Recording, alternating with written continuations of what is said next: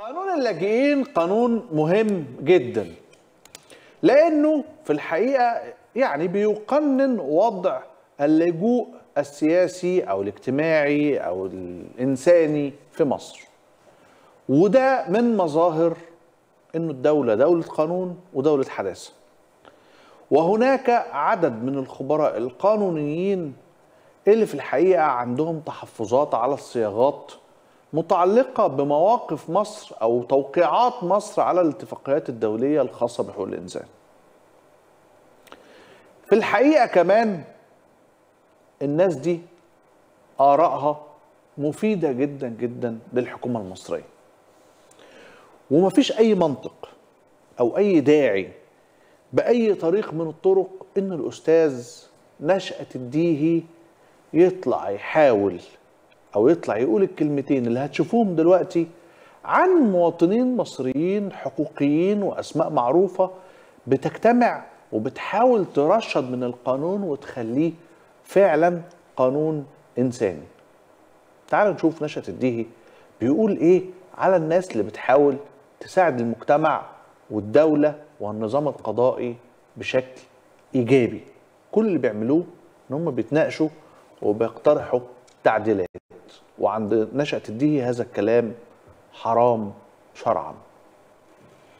بقول تاني عيب إن أنتوا تتكلموا على مصر وعيب إن أنتوا تمارسوا على مصر ابتزاز رخيص. بقول لكل الصحف كل المجلات كل المواقع وكل هؤلاء التابعين لمنظمات حقوقية عيب إن أنتوا تزايدوا على مصر في موضوع اللاجئين اللي رئيس الدولة بيقول عليهم ضيوف وإحنا فاتحين بابنا وأبوابنا لكل واحد عابر سبيل وكل واحد بيستجير بينا لأن ده تاريخنا دي تربيتنا دي أخلاقنا دي دولتنا الكبيرة الضاربه بجذورها في أعماق التاريخ والحضارة اللي أنتوا ما تعرفوهوش. بقول تاني عيب إن ألاقي 22 منظمة حقوقية طالعة تتكلم وتقول إن إحنا بنرفض القانون. ارفض اخبط راسك في الحيطة. اخ اخبط راسك في الحيطة. اللي بيقول لك أنا مش موافق على القانون وبحذر من القانون بقول له ده أمر سيادي وتشريع مصري لضبط العملية وإدارتها بشكل يحقق مصلحة الدولة المصرية. أنا مش شغلتي لمنظمات الحقوقيه مش شغلتي ان ابسطك مش من ضمن أهدافي ان ابسطك مش من ضمن أهدافي خليك تسقف لي أنت ومحمد ناصر ومعتز مطر. أنت مش من ضمن أهدافك كنشأة إن أنت تبسط ال- المنظمات الحقوقية بس لازم يكون أول أهدافك يا عم نشأة إنك تعمل إيه؟ إنك تشتغل حقوقيا صح. والمنظمات الحقوقية والهيئات والمؤسسات الحقوقية هتشيد بالصح ده وتقول لك انت كده تمام بتشتغل صح. إنما لما تنتقدك المنظمات الحقوقية مش عايزك بس تشد عروقك كده عايزك تهدى وتتكلم بالراحة. وموضوع انت طالع دلوقتي بتتكلم في موضوع المفروض تتكلم فيه بأرقام بحقائق تقول والله مثلا إحنا عملنا قانون القانون ده بينص على كذا. وإذا اختلفت معنا المنظمات الحقوقية والمؤسسات الحقوقية فبقول لهم إن مصلحة مصر كذا. لكن أنت عشان عارف إن أنت عمال تطبل وعمال تكذب فأنت عمال تنفخ عروقك وتزعق واخبطوا راسكم في الحيطة. هو ده نقاش يا نشأت؟ نشأت ده نقاش. لو أنت تمتلك حجة ودليل وأرقام وهدوء في الطرح أكيد الناس هتسمعك. إنما أنت متأزم عارف إن أنت مأزوم وطالع ال- المادة اللي معاك؟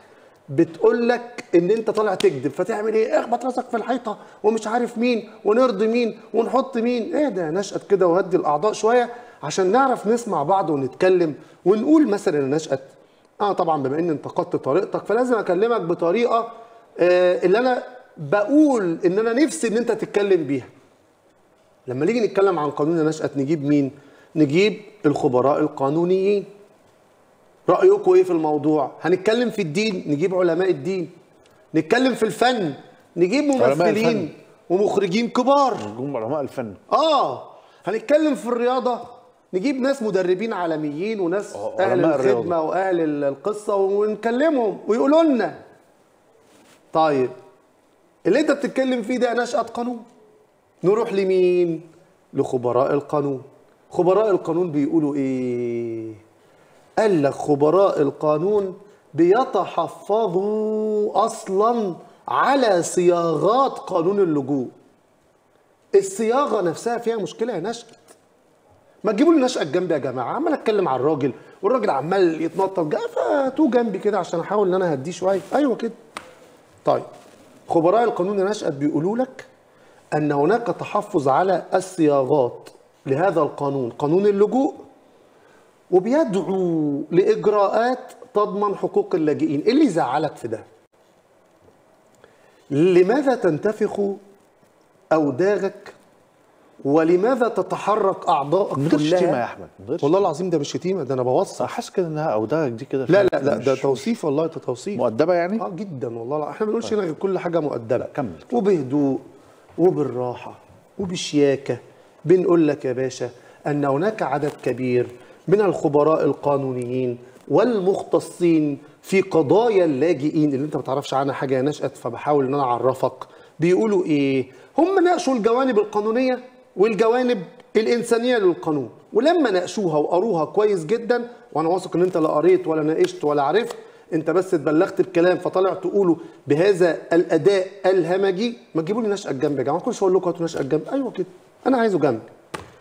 عملوا إيه نشأت قالوا إن الحكم النهائي على القانون هيعتمد على اللائحة التنفيذية اللي يجب أن تحدد إجراءات واضحة معلومة ظاهرة لحماية اللاجئين. طيب استندوا على إيه؟ قال لك بما يتوافق مع الاتفاقيات الدولية. القانون بينص على إنشاء لجنة دائمة لشؤون اللاجئين. تتبع رئيس مجلس الوزراء وتحدد فترة 45 يوم لتقديم طلبات اللجوء من الأشخاص الذين دخلوا إلى البلاد بشكل غير قانوني. كما يضمن القانون حقوقا للاجئين تشمل وثيقة سفر الحماية من الترحيل حق التعليم الرعاية الصحية بشرط الالتزام بالقوانين المصرية واحترام النظام العام. مالك يا نشأ؟ اللي يزعلك في ده؟ هو أنت يعني إحنا دلوقتي نشأت ما بين صح وغلط. لما أنت تكون شايف الصح اطلع ودافع عنه. لكن تبقى عارف إن ده غلط يا نشأت وتحاول تقلبه لصح هتتعب. هتتعب. واليومين دول السكر والضغط منتشرين وزميلك عمرو أديب قال إحنا دلوقتي يا جماعة الناس بتموت من القهر. والقهر ده بيجي نشأت من إيه؟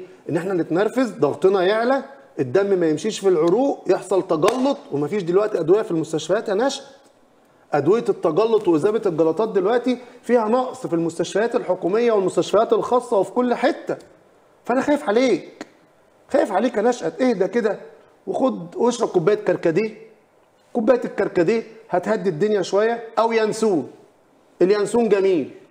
وبيهدي الدنيا وبيخليك هادي ورايع كده وصوتك يبقى سالك ومن غير نرفزة وبهدوء شديد جدا. والناس اللي عاملة لك قلق في دماغك دي يا نشأت تشيلهم من دماغك بقى. هم عايزين مصلحة البلد يا نشأت. مش بيطبلوا زيك. يعني هم ما بيطبلوش زيك. اللي انت ذكرت أسمائهم كلهم ما بيطبلوش زيك. فانت اهدى عشان تعرف تتكلم ونعرف نسمعك. حبيبي يا نشأت.